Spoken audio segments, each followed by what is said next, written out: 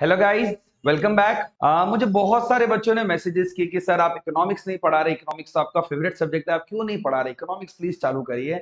इसलिए आज से मैंने सोचा है कि मैं पूरा का पूरा सिलेबस करवाने वाला इकोनॉमिक्स का ट्वेल्थ गुजरात बोर्ड का। Honestly from the very first chapter to the very last chapter I am to start with whole the syllabus मैं पूरा सिलेबस कराऊँगा। बट एक चीज़ समझ लेना, मैं ये चैप्टर सिर्फ़ आपको लर्न करवा रहा हूँ, समझा नहीं रहा हूँ।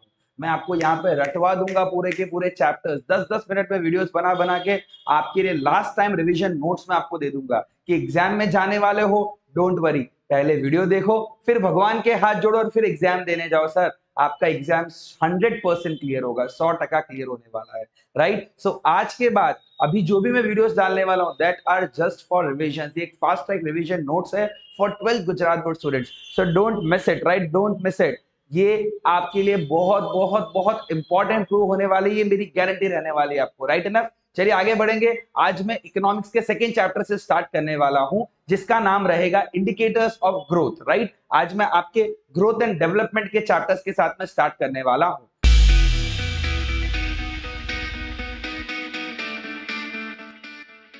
सो so गाइज़ आज जो मैं चैप्टर स्टार्ट करने वाला हूँ that is all about economic growth right अब ये पहले मैं आपको थोड़ा सा बेसिक आइडिया दे देता हूँ हम ये चैप्टर पढ़ किस बारे में रहे राइट हम जो ये चैप्टर पढ़ रहे हैं, वो है about growth and development of an economy right economy मतलब हो गया पैसा इकोनॉमी मतलब हो गया डेवलपमेंट इकोनॉमी मतलब हो गया how this particular country is working उसमें दो शब्दों में बड़ा कंफ्यूजन रहता है। लोग ग्रोथ को डेवलपमेंट समझते हैं डेवलपमेंट को ग्रोथ समझते हैं। सर, दोनों में फ़र्क है। चलिए, मैं खाली अभी इनिशियली आपको टॉपिक का बेसिक आइडिया दे रहा हूँ। फिर मैं सिर्फ़ टॉपिक याद करवाने वाला हूँ आपका राइट और ये सब मेरे हैंड रिटन नोट्स है। अगर आपको ये नोट्स चाहिए तो यहाँ डिस्क्रिप्शन में हमारा टेलीग्राम का लिंक आपको दिया होगा। वो लिंक पे आप ज्वाइन हो जाइए। आपको ये सारे के सारे नोट्स उस पर्टिकुलर लिंक पे अवेलेबल हो जाएँगे। ये हैंड रिटन नोट्स रहेंगे मेरे। बाकी आपके पास टेक्सुअल कंटेंट रहेगा। That is good enough for detail study आपको जब लास्ट टाइम रिविजन करना हो तो my notes are very good enough right so growth development का एक इकोनॉमिक एग्ज़ाम्पल देता हूँ मैं आपको। सपोज़ करते एक फार्मर था राइट एक फार्मर के पास एक प्लॉट ऑफ़ लैंड था, एक ज़मीन का टुकड़ा था। उस ज़मीन के टुकड़े पे समझ लो, वो हर महीने 100 किलो अनाज उगाता है राइट उसका एवरेजली पर मंथ का 100 केजीज वीट का प्रोडक्शन वहाँ पे रहता है। अब उस फार्मर ने क्या किया? उस फार्मर ने अपने बाजू वाले ज़मीन का टुकड़ा और खरीद लिया ओके अब वो बाजू वाला टुकड़ा सेम साइज़ का था, एकदम आइडेंटिकल प्लॉट था तो उसकी एक महीने की प्रोडक्शन हो गई है 200 किलो। तो सर ये क्या कहलाएगा? दिस इज़ ग्रोथ ज़मीन बड़ी प्रोडक्शन बढ़ा क्या नया, क्या दुनिया कर लेती है चीज़? नथिंग न्यू बट अगर उसने, उसी फार्मर ने, उसी ज़मीन पे, जो पहले ज़मीन थी, एक सिंगल टुकड़ा था, उसी ज़मीन पे साइंटिफिक टेक्निक्स यूज़ किए मॉडर्न इंस्ट्रूमेंट्स यूज़ किए नए इरिगेशन के मेथड्स यूज़ किए और उसने उसी ज़मीन पे अपना प्रोडक्शन 100 किलो की जगह 200 किलो कर दिया। Sir then that is development that is development ये आपने कुछ नया किया है। मतलब ज़मीन उतनी की उतनी है प्रोडक्शन डबल हो गया है तो उसे कहा जाएगा डेवलपमेंट इन शॉर्ट ज़मीन बड़ी प्रोडक्शन बड़ा ग्रोथ नथिंग न्यू बट ज़मीन उतनी की उतनी और प्रोडक्शन डबल हो गया then that is basically economic development याद रहेगा? चलिए, अब इसके बाद में मैं आपको सिर्फ़ ये चैप्टर पूरा का पूरा लर्न करवा रहा हूँ। आप मेरे साथ साथ फटाफट इस चैप्टर को लर्न करने वाले हैं। फोकस करते रहिए। इंडिकेटर्स ऑफ़ ग्रोथ किसे कहा जाता है, मुझसे स्टार्ट करेंगे। पहले बेसिक मीनिंग ग्रोथ की बेसिक मीनिंग इकोनॉमिक ग्रोथ का बेसिक मतलब क्या वो पढ़ेंगे। Economic growth relates to long run increase long run increase in the total output of an economy जब एक इकोनॉमी के टोटल आउटपुट में लॉन्ग रन मतलब लॉन्ग टर्म में अगर इंक्रीमेंट होता रहेगा आउटपुट बढ़ता रहेगा, उसे कहा जाएगा ग्रोथ उसे क्या कहा जाएगा? ग्रोथ सो ग्रोथ के लिए कंटिन्यूटी का होना बहुत ज़रूरी है. It must be a continuous process so whenever your real national income और your real per capita income is increasing continuously तो हम बोलेंगे भैया आप इकोनॉमिक ग्रो कर रहे हो. आपके यहाँ पे इकोनॉमिक ग्रोथ हो रहा है. सो so, यहाँ पे कंटिन्यूस चीज़ों का होना ज़रूरी है. वन टाइम और सडन इंक्रीमेंट को ग्रोथ नहीं बोलेंगे the growth must be continuous one regular level पे होना चाहिए। सो इन शॉर्ट आपको एग्ज़ाम में इतना सा लिखना है that economic growth is a quantitative change ध्यान देना, यहाँ पे सिर्फ़ क्वांटिटी चेंज हो रही है। It's a quantitative change which shows increase in output और gross national output through which the country's economic status is depicted so ये क्या हो गया? यहाँ पे क्वांटिटेटिव चेंज हो रही है मतलब हमारी क्वांटिटी बढ़ रही है। इससे हमारी कंट्री में या तो आउटपुट बढ़ रहा है या प्रोडक्शन बढ़ रहा है मतलब हमारी इकोनॉमी के अंदर कहीं ना कहीं कहीं ना कहीं एक्सेस प्रोडक्शन होने लग गया है। So it also help in comparative valuation of economies of two countries जब कभी भी आपको दो कंट्रीज़ को कंपेयर करना हो तो भी आपके लिए ये इंडिकेटर बहुत हेल्पफुल रहता है तो भी आपको इंडिकेटर बहुत काम आने वाला रहेगा। याद रहेगा this is my first one that is basic meaning of economic growth economic growth क्या होता है?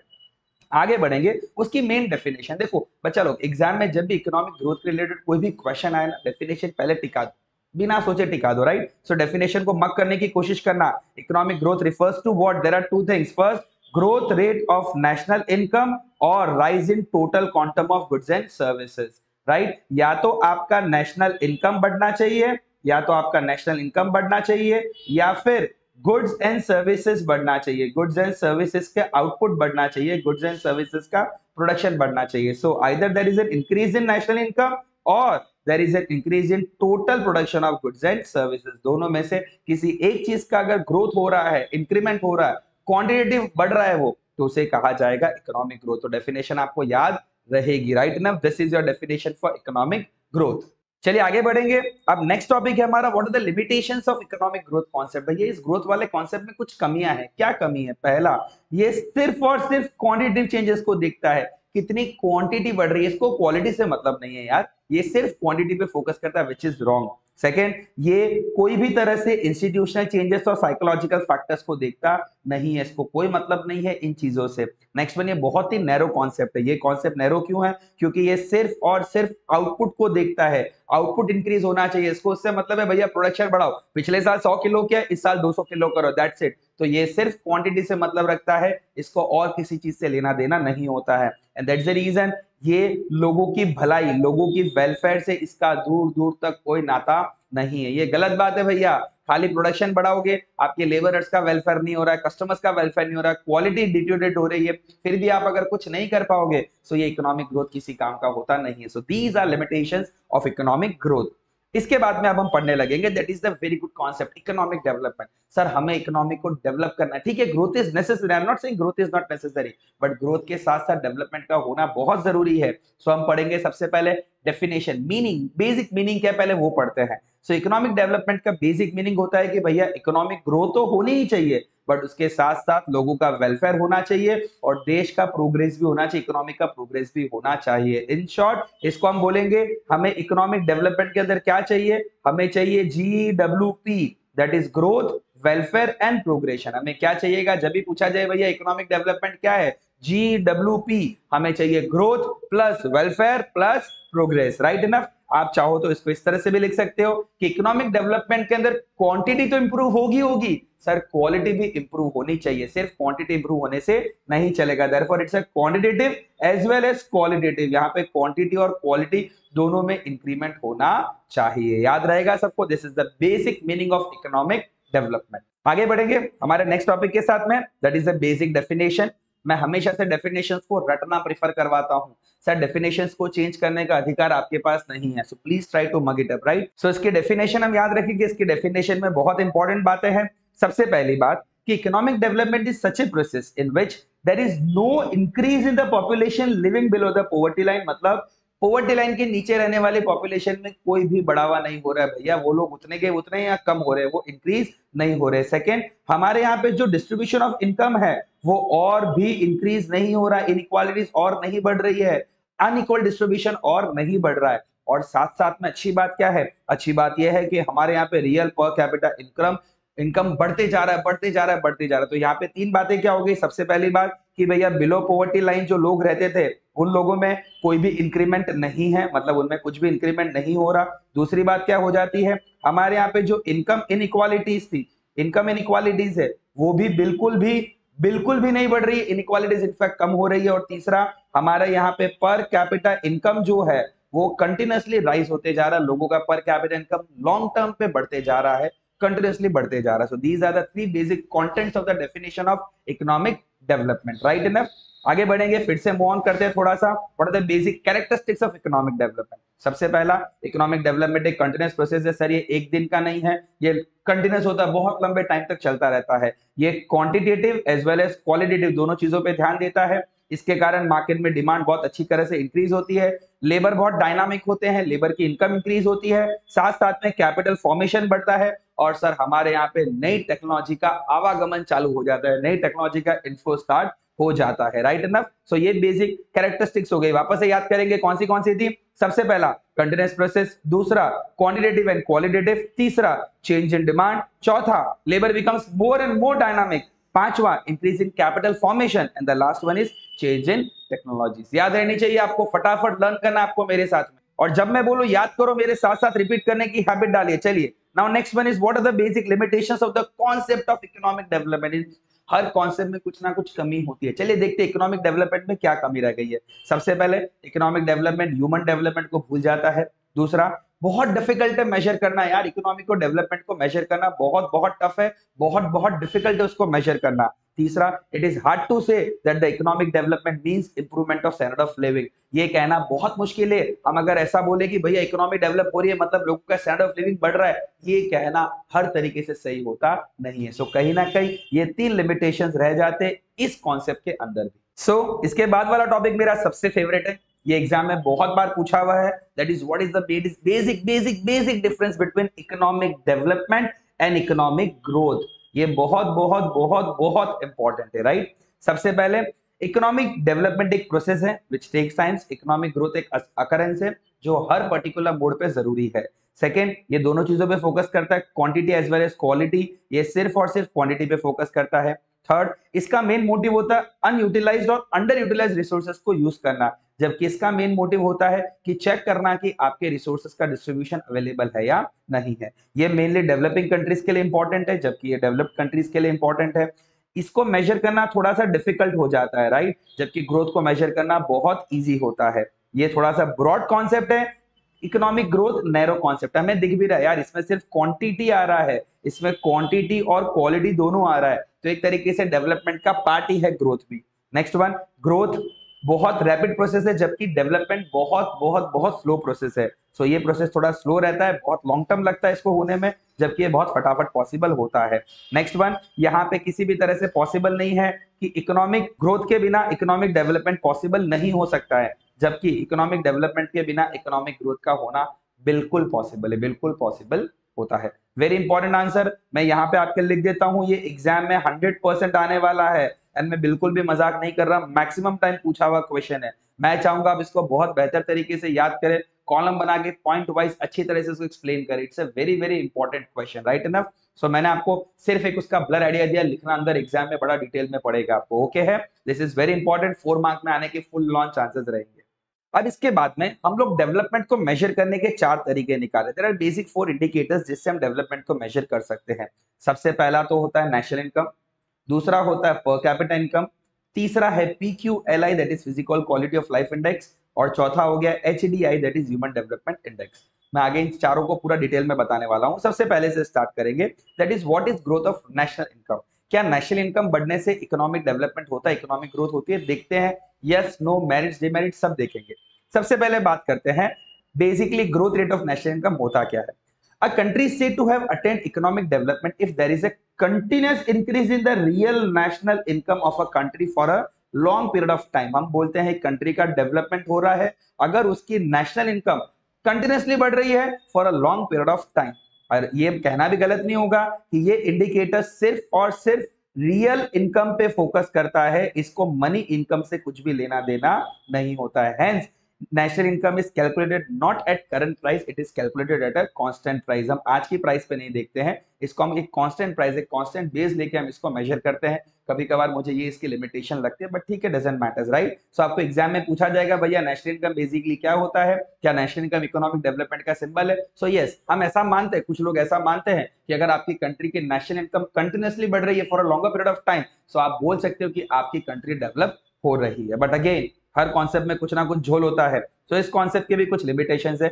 सबसे पहला, भैया नेशनल इनकम गिनना बहुत मेहनत वाला काम होता है। हर दस साल में एक बार सेंसस होता है। So it is very very difficult to calculate national income दूसरा, खाली इनकम बढ़ रही है, हम वो कंसिडर कर रहे हैं। पॉपुलेशन बढ़ रहा हो पीछे तो क्या पता?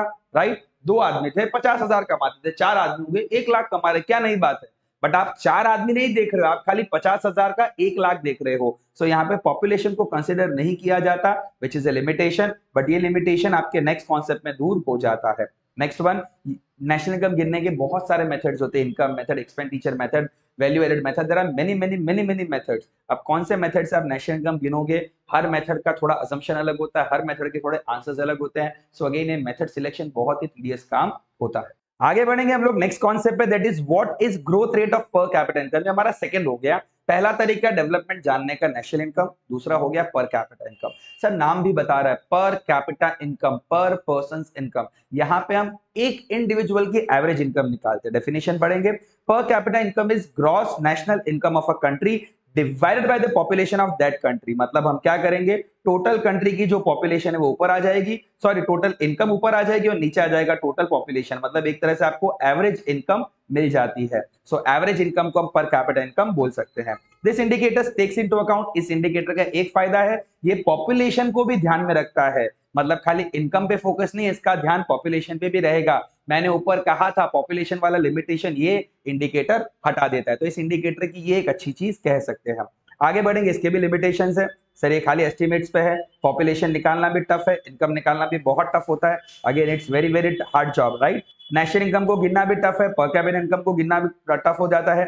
एवरेज निकालना एक बिल्कुल भी घटिया मेथड है। एवरेज कैलकुलेट करेंगे क्या मतलब वो एवरेज का यार? अंबानी की इनकम और मेरी इनकम को मिला के एवरेज करोगे तो मेरा तो मज़ाक बन जाएगा यार right so it's it's very very wrong it's very very wrong to take average as an income basis बहुत गलत है। कंपैरिजन करना भी बहुत डिफ़िकल्ट होता है और ये रियलिटी से बहुत बहुत दूर है। जैसे कि मैंने कहा था, बहुत बहुत बहुत दूर है। एक गरीब आदमी और एक अमीर आदमी की इनकम का एवरेज करके बोलोगे दोनों इतना कमा रहे हैं। So this is far from reality ये सच्चाई से कोसो कोसो कोसो दूर बैठा है, जिसका कोई मतलब निकलता नहीं है। आगे बढ़ेंगे। हमारे नेक्स्ट मेथड पे अभी ये दोनों मेरे मेथड फेवरेट है। PQLI and HDI my favourite method exam में 100 परसेंट इन दोनों में से एक पूछा ही जाएगा।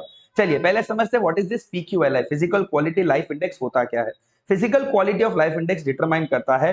कंजप्शन और लिविंग स्टैंडर्ड, ये डिटरमाइन करेगा एक आदमी क्या कंज्यूम करता है और उसका लिविंग स्टैंडर्ड कैसा है। हम देखेंगे वो कौन सा फ़ूड कंज्यूम कर रहा है, किस क्वालिटी का, फ्यूल और बाकी नॉन ड्यूरेबल गुड्स पे हम ध्यान देते हैं। हम देखते हैं उसका ड्यूरेबल और सेमी ड्यूरेबल गुड्स के कंजप्शन देखते हैं। हम देखते हैं वो कौन सी कौन सी सर्विसेज़ को कंज्यूम कर रहा है। इससे हम पता लगाते हैं कि उस आदमी की लाइफ में उसके स्टैंडर्ड ऑफ़ लिविंग में कुछ चेंजेस आ रहा है या नहीं आ रहा है। So if the standard of living of a people goes up it can be said that physical quality of life has gone अगर आदमी का अच्छा बढ़ रहा मतलब वो अच्छे सर्विसेज़ कंज्यूम कर रहा है अच्छा गुड कंज्यूम कर रहा है न्यूट्रिटिव फ़ूड कंज्यूम कर रहा है तो हम बोलेंगे हाँ भैया, तेरा physical quality of life index ऊपर चला गया it's gone upright so it can be a good indicator क्योंकि यहाँ पे हम ह्यूमन वेलफेयर को फोकस करने की कोशिश कर रहे हैं. अब पहले, सबसे पहले देखते हैं, इसमें क्या क्या हमने इंक्लूड किया है राइट हम देखेंगे physical quality of life index में क्या क्या आया है।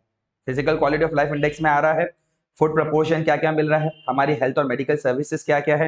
हाउसिंग और क्लोथिंग सर्विसेज़ देखते हैं हम। एडुकेशन, एंटरटेनमेंट सर्विसेज़ देखते हैं। हमारे पास क्या क्या ट्रांसपोर्टेशन सर्विसेज़ है? क्या क्या कम्युनिकेशन सर्विसेज़ है? इन्फॉर्मेशन सर्विसेज़ है। हमें कौन से कौन से पावर ऑफ़ एनर्जी के सोर्सेज हमें यूज़ करने को मिल रहे हैं?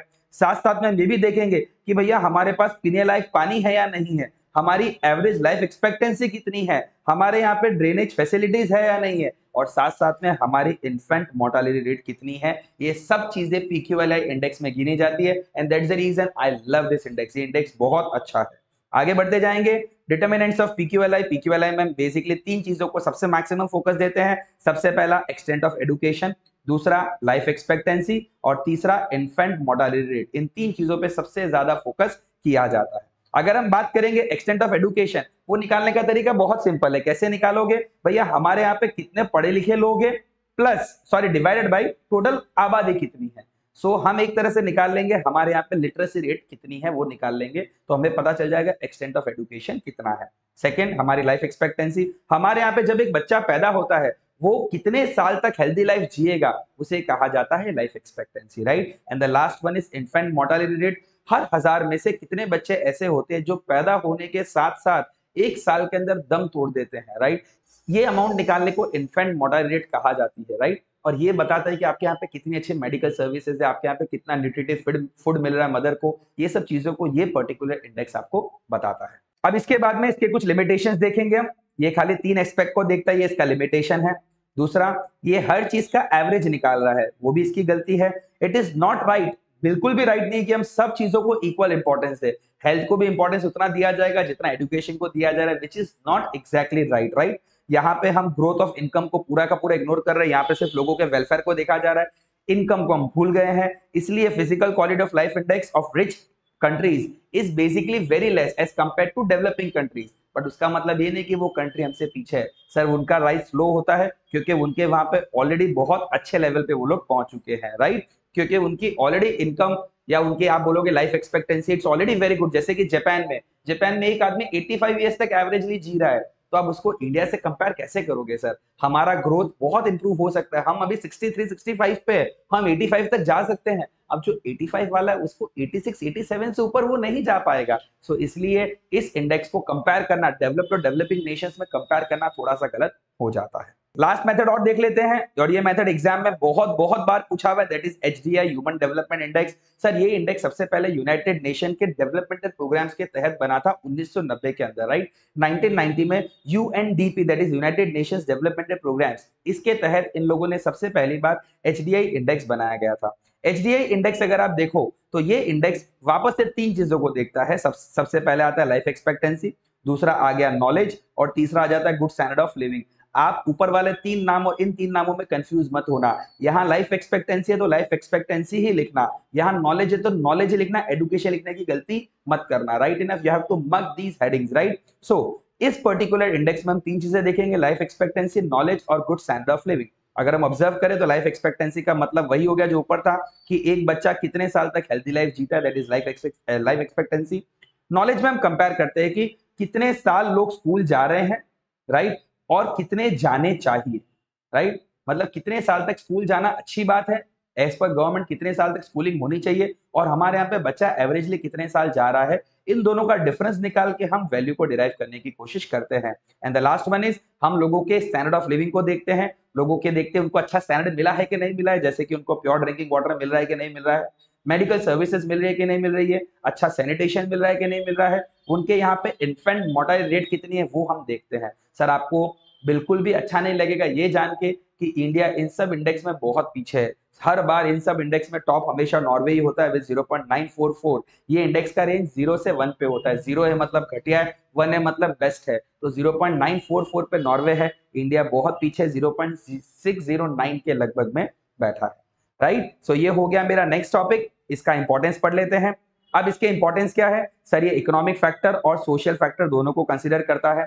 साथ साथ में economic development is a tool but the ultimate objective is always human welfare इसलिए एक तरह से ट्रू प्रोग्रेस अगर आपको जाननी है तो आपको इकोनॉमिक प्रोग्रेस और सोशल प्रोग्रेस दोनों को मिलाना चाहिए। और ये इंडेक्स वो काम अच्छे से कर रहा है। सो एचडीआई इंडेक्स एक फंक्शनल इंडेक्स है। आज की तारीख में आप इंडेक्स को आप देख सकते हो। ये बहुत ही प्रोग्रेसिव थिंकिंग के साथ बना हुआ इंडेक्स है। इसलिए इस इंडेक्स को आज भी बहुत कंट्रीज़ में कंपैरिजन के लिए यूज़ किया जाता है। साथ साथ में ये एक डेवलपिंग कंट्री को आइडिया देती है कि भैया तुम्हारे पास आगे कहाँ तक रास्ता है? तुम कितना आगे तक जा सकते हो? तुम्हारे पास एक बेंचमार्क स्टैंडर्ड सेट करने में ये आपको हेल्प करता है। जैसे इंडिया को पता है, वो अभी 0.609 पे है। वो नॉर्वे की तरह 0.944 पे भी पहुँच सकता है। तो एक मंजिल बताने का काम भी इंडेक्स आपको करता है। लिमिटेशन हर किसी चीज़ के होते हैं। वापस से वही बात, यहाँ पे सिर्फ़ तीन इंडिकेटर्स है। तीनों को बराबर इंपॉर्टेंस दे दिया, जो कि गलत बात है। और इस पर्टिकुलर इंडेक्स का एक एब्सोल्यूट एक्सप्रेशन नहीं है। ये सिर्फ़ कंपैरिजन के लिए होता है। सो ये भी एक गलत चीज़ है। हम खाली दो देशों को कंपेयर कर सकते हैं। हमारे देश का एग्जैक्ट इंडेक्स कितना है, उससे हमें पता नहीं चलता है। So this is the basically last topic limitation right मैंने कहा था ये मेरा रिविजन सेशन है, इसको ओरिजिनल सेशन मत मानना राइट ये सिर्फ़ और सिर्फ़ मैंने रिविजन के लिए बनाया है ओके है? फाइन है। इसके बाद में वापस से, मैं नेक्स्ट सेशन में आऊँगा पंद्रह पंद्रह मिनट में आपको एक एक चैप्टर करवाऊँगा और वो चैप्टर आपको पूरा का पूरा रिवाइज करवाने की ज़िम्मेदारी मेरी रहेगी। बताइएगा ज़रूर कमेंट में आपको कैसा लगा। अच्छा लगे तो ज़रूर ज़रूर ज़रूर अच्छे अच्छे कमेंट करना। मुझे बड़ा मोटिवेशन मिलता है आपके कमेंट्स को देख के। ठीक है गाइस आज के लिए इतना ही। Bye for the day